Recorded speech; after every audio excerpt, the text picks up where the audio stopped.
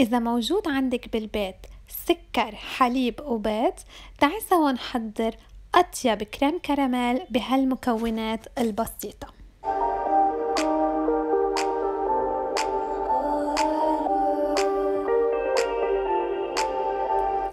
لهيدي الوصفة منحتاج لثلاث أرباع الكوب من السكر كبيتين حليب أربعة بيض ربع كوب سكر إضافي ملعقة كبيرة من الفانيلا ورشة ملح صغيرة. أول شي بدنا نحضر الكراميل.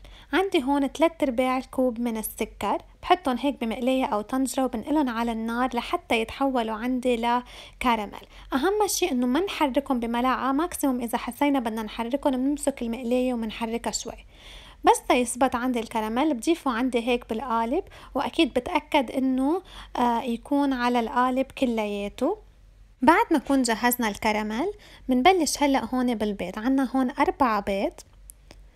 بنضيف عليهم ملعقة كبيرة من الفانيلا ورشة ملح صغيرة وبدي أخلطهم سوا كتير منيح. بعد ما أكون خلطت البيض بزيد عليه السكر. عندي هون ربع كباية سكر وأكيد بنرجع بنخلطها بقلب البيض.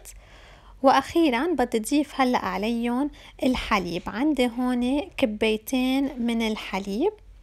منضيف الحليب على خليط البيض والسكر وبنرجع بنخفقهم كلياتهم سوا.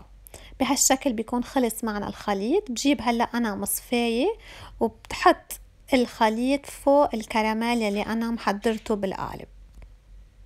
ما أكون حطيت الخليط كله بالقالب بننقل القالب على بان ماري يعني أنا هيك حطيته بقلب صينية أكبر وحطيت بقلبها مي ساخنة وبدي أدخله هلأ على الفرن أكيد الفرن محمى مسبقا على درجة الحرارة 200 بحطه بالرف الوسط وأكيد مشعل الفرن بس من تحت بياخد حوالي ساعة ساعة وربع بالفرن بعد ما يطلع من الفرن بشيله من البان ماري وبنطره تا يبرد. بعد ما يبرد ويصير على حرارة الغرفة بدي أدخله على البراد لحوالي ست ساعات.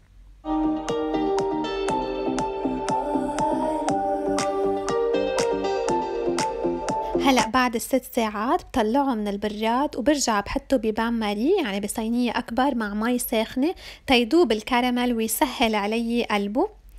بس بتركه بالبان ماري شي خمس دقايق برجع بقلبه ليكو كيف دغري بيطلع من القالب الكراميل صوص بيكون دايب شكله وطعمته ولا أروع وصفة كتير بسيطة وكتير سهلة بمكونات موجودة بكل بيت لازم لازم تجربوها.